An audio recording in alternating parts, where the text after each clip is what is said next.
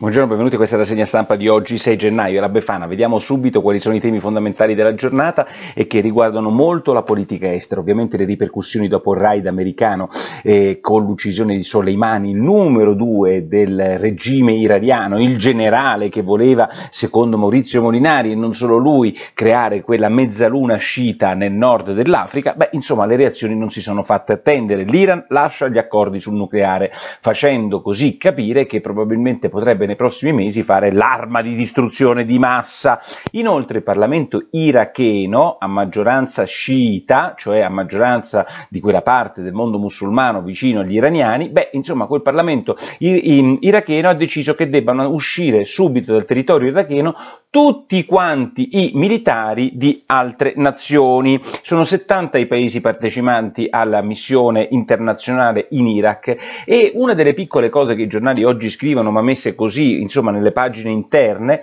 è che questa dichiarazione unilaterale di una mozione del Parlamento europeo e del Parlamento iracheno è stata fatta anche con la minaccia da parte degli sciiti nei confronti dei sunniti e dei curdi e delle altre componenti del Parlamento iracheno che se avessero votato contro a questa mozione per far uscire i militari americani e non solo, beh, li avrebbero ammazzati. Questo è il tipo di democrazia che c'è ancora nel Parlamento iracheno, perché quando iniziamo a pensare che ci sono i cattivi americani occidentali e lì ci sono i buoni che fanno le mozioni parlamentari, beh, insomma, ricordatevi che chi vota contro queste mozioni parlamentari sciite rischia la morte. Beh, insomma, questo è il concetto. Conte rilascia una fondamentale intervista a Stefano Cappellini, nonostante è molto bravo il capo della politica di Repubblica Conte è quello che è, insomma può dire soltanto le dolci banalità tipiche di Conte, bisogna fare una missione europea, guida europea, l'Italia è sempre presente, i nostri soldati però dice restano a dispetto di quello che altri immaginavano. E, ehm, e poi l'altra cosa fantastica che riesce a dire Conte, veramente straordinaria, non mi lascio lusingare dai sondaggi, fantastico! Pochi giorni fa su Repubblica lo stesso identico Conte aveva detto che lui continuerà a fare politica nel futuro e ha fatto arrabbiare tutti quanti. Beh, insomma, quello che non si lascia eh, lusingare dai sondaggi, però ha deciso che nel suo futuro continuerà a fare politica. Secondo voi perché continuerà a fare politica? Perché ci ha preso gusto, perché sa che alcuni eh, nei sondaggi, che sono ovviamente fallaci, perché i sondaggi sulla persona sono molto difficili poi da concretizzarsi quando quella persona realizza o non realizza qualcosa, come spiegano i due esempi dei tipici tecnici saltati là fuori dal cappello che poi hanno creato dei flav- hanno, eh, non hanno creato dei grandi partiti, sia Dini sia Monti. Ehm, Beh, poi stupendo Pane Bianco oggi, in un pezzo, devo dire, eh, interessante, dice, eh, ragazzi, in tutto questo grande casino medio orientale è difficile pensare che l'Europa totalmente disunita sia più vicina all'Iran, sia più vicina alla Russia, sia più vicina alla eh, Turchia, di quanto possa essere vicina agli Stati Uniti. Eh, eh Direi che per il resto, eh, su un altro fronte fondamentale che è quello libico, dove eh, eh, quando l'Europa si è data da fare ha fatto solo minchiate, come dimostra il caso di Sarkozy, poi dopo appoggiato dagli americani di Obama, che tutti ormai riconoscono aver avuto una politica estera fallimentare di cui oggi paghiamo le conseguenze, beh, insomma, in, i turchi stanno iniziando ad aiutare eh, il, generale, il ehm, eh, rappresentante dell'ONU e eh, nominato dall'ONU, presidente del, del, dell'autorità libica, Serraj, Ragi lo stanno aiutando soprattutto alla luce di quello che è stato lo, il grandissimo attentato uh, missilistico di cui nessuno parla, in cui sono morti 30 ragazzini dell'Accademia Militare vicino a Tripoli, non sarà morto un cattivo generale considerato da alcuni di voi non un macellaio, ma 30 ragazzini che studiavano a fare i militari, quindi potenziali macellai evidentemente per gli altri, ucciso dal generale Haftar o da suoi amici e in funzione di questa escalation militare in Libia dove veramente si combatte una guerra senza eh, quartiere, beh, insomma, i turchi iniziano a mandare lì i eh, militari e noi zitti e muti. I turchi stanno con Serraci che dovrebbe essere appoggiato dagli italiani, in realtà gli italiani li appoggiano, capire, capirete un po' voi, con qualche viaggetto fatto da Di Maio. Mm.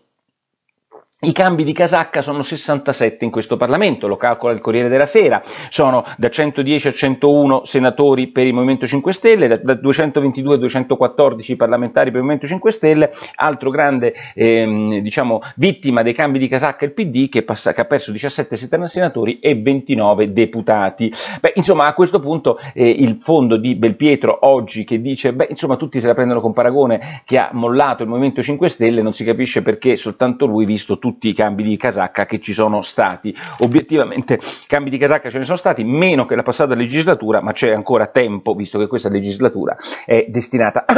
scusatemi, a durare. Di Maio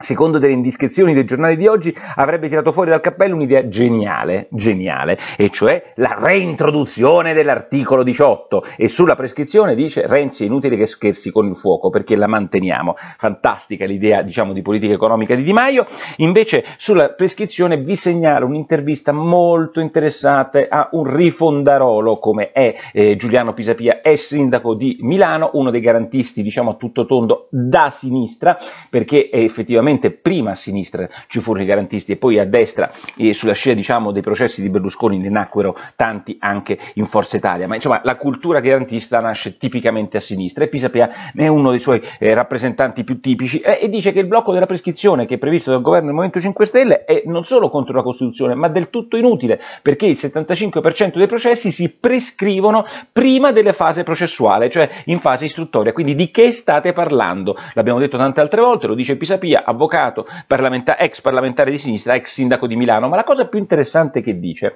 è che quando gli obiettano ma stai facendo il berlusconiano, lui dice guardi che il processo berlusconiano più tipico, che è il lodo Mondadori, in cui Berlusconi fu prescritto, state attenti, perché Berlusconi fu prescritto in primo grado, il che vuol dire che anche con la riforma Bonafede, che comunque fa schifo, la sua prescrizione sarebbe valsa perché il processo era durato troppo tempo. Quindi quello che dice giustamente Pisapia, ragazzi, è fumo negli occhi questa roba della prescrizione. E nel frattempo, l'altra cosa incredibile di oggi è quel fenomeno della leghista prima finiana Bongiorno. Dovete sapere che la Bongiorno era ministro nel passato governo con Conte e sedeva nel Consiglio dei Ministri insieme a Bonafede e insieme a Bonafede hanno fatto la legge sulla prescrizione prescrizione e insieme a Bonafede l'hanno votata in Parlamento e insieme a Bonafede si erano inventati che avrebbero modificato entro sei mesi la giustizia per rendere i processi più veloci. Toc toc! o sei un genio del male,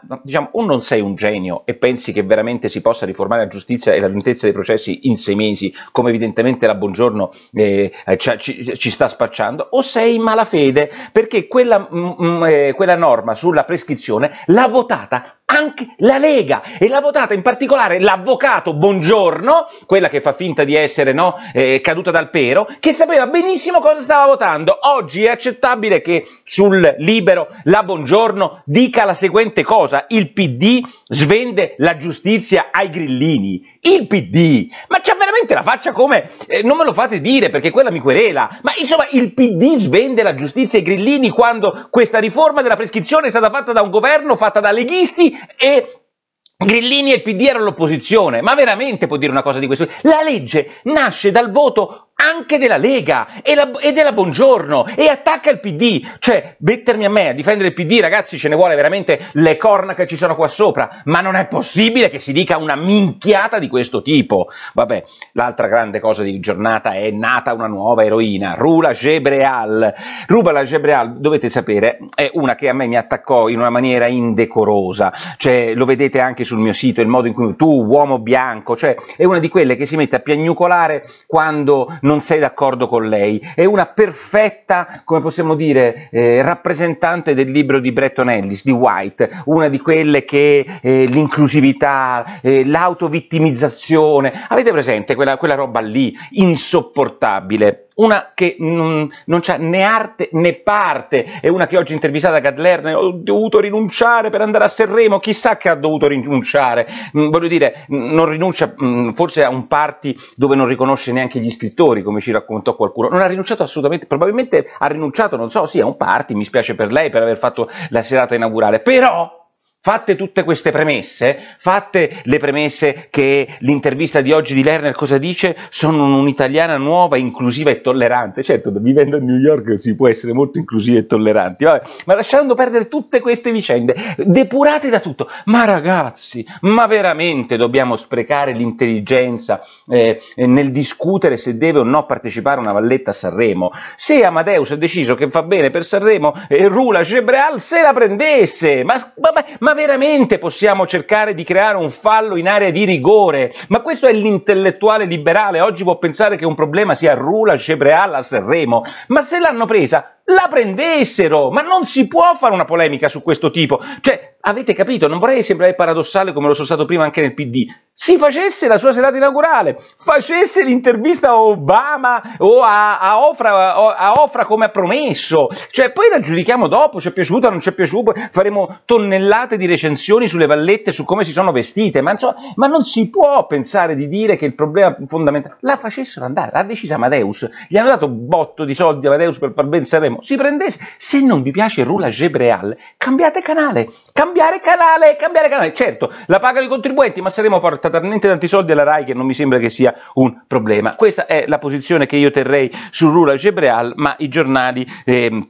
in realtà sono caduti nella trappola e l'eroina dell'inclusività ha suo, la sua ribalta, che è quello che cercava. Terroristi in Francia, Spataro non crede oggi su Repubblica che ci restituiranno mai terroristi, mentre Farina ci dice sul libero, guardate che se ci rimanda ci rimandano in, bare, in bara o in barella, perché ormai hanno 80 anni e non hanno voluto scontare la pena che dovevano meritare in Italia. Straordinaria, una rula gebreallata che leggo sul Wall Street Journal, il McDonald's di un tempo non c'è più, perché hanno cacciato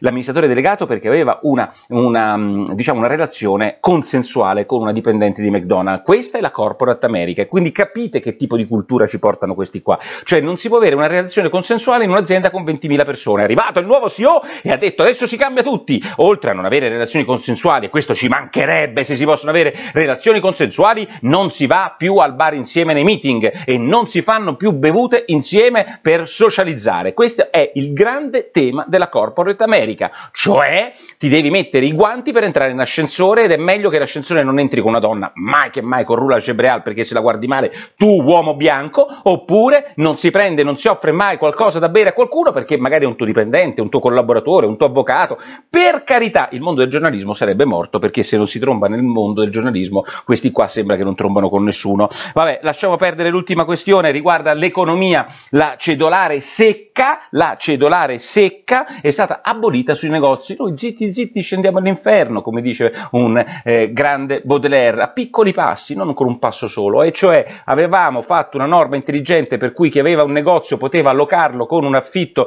anche calmierato perché pagava poche tasse, abolito da questo governo. Complimenti nello silenzio collettivo. Infine, Lottieri critica De Benoit e ben fa sul giornale uno scrittore conservatore, post-fascista e totalmente non liberale, che ha scritto anche delle cose molto intelligenti, alcune le ho recensite anch'io, sulla nascita dei nuovi populismi, ma la lezioncina sul liberalismo da De Benoit proprio no, dice Lottieri, e io con lui. Direi che per il momento è tutto, vi do appuntamento